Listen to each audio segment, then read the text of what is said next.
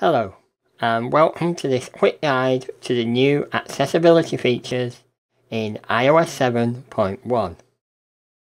This week, Apple launched iOS 7.1.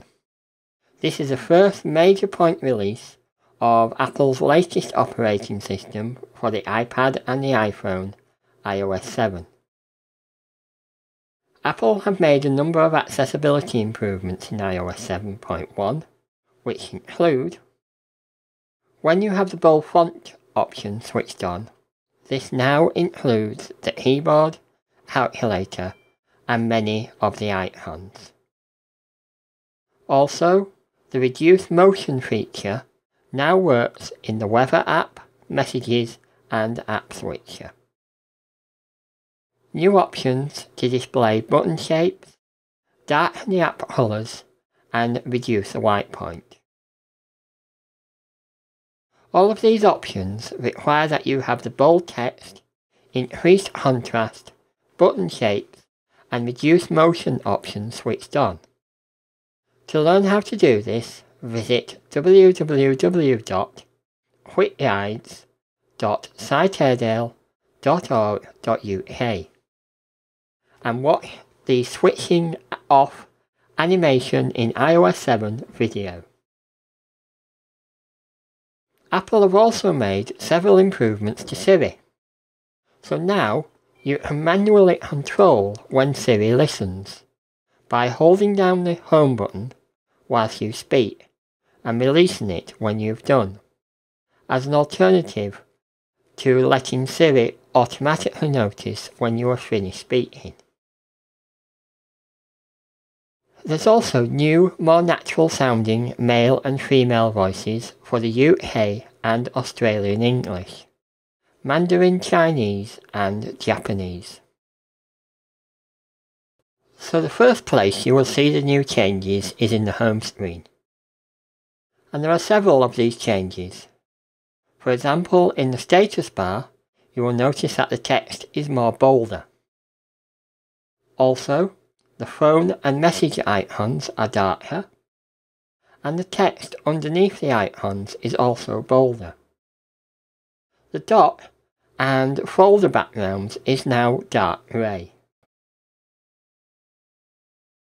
For the keyboard, we have used the screen for entering a URL or search term in Safari.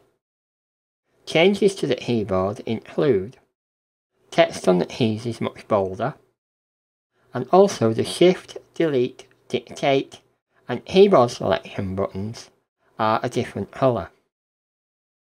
Also on the screen, we can see that the cancel button is now underlined to make it easier to identify it as a button rather than a label, though the text in the URL box does appear smaller.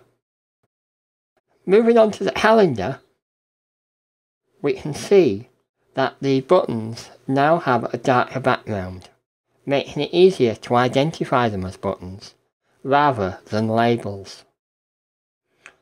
Also, the add and search buttons have been made bolder, though they have not had their backgrounds altered. And the contrast has also been improved on the ribbon running along the top of the screen. There is also a new button now which will give you quick access to the calendar list view. And this makes it a lot easier to quickly see what appointments you have coming up. The next feature is the darken colours and reduce white point. Darken colours makes colour text items appear darker. For example, in this case, the blue on accessibility has been made darker. The white point reduces the brightness of the white areas of the screen to help reduce glare. I've not demonstrated this here because it doesn't make any difference when I do a screen capture. So in iOS 7.1, Siri has a higher quality male and female voice. So first of all, I'll let you hear what Siri sounded like in iOS 7.06. Do I have any appointments for tomorrow? You don't have any appointments on your calendar for tomorrow. So now we can hear what the new voice for Siri sounds like in iOS 7.1. Do I have any appointments on my calendar for tomorrow?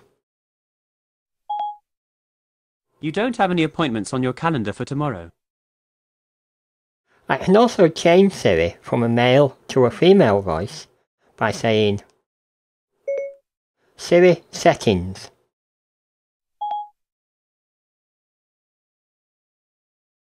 Then I can choose voice gender and change to female. So now if I press the home button and again I'll ask Siri if I have any appointments for tomorrow. Do I have any appointments on my calendar for tomorrow? You don't have any appointments on your calendar for tomorrow. So we'll now look at the animation features in both weather and in the app switcher. So even though I've got reduced motion switched on, when I double tap click on the home button to access the app switcher, it still zooms out. And if I go onto the weather application, you will notice that the clouds at the top of the screen are very slowly moving. And this animation takes place even though I've actually switched off animations. So now if I switch to iOS 7.1, so now when I look at the app switcher, instead of zooming out, it simply fades in. And if I tap onto the weather application, you'll notice that the clouds at the top of the screen remain static. We hope you found this quick guide to iOS 7.1 useful. Sight Airedale is a local independent charity supporting sight impaired people living in the Airedale area. You can learn more about our work at www.sightairedale.org.uk. You can also follow us on Facebook at www.facebook.com slash. Or why not subscribe to our YouTube channel? If you found this lesson useful, please consider making a donation via our website. Thank you.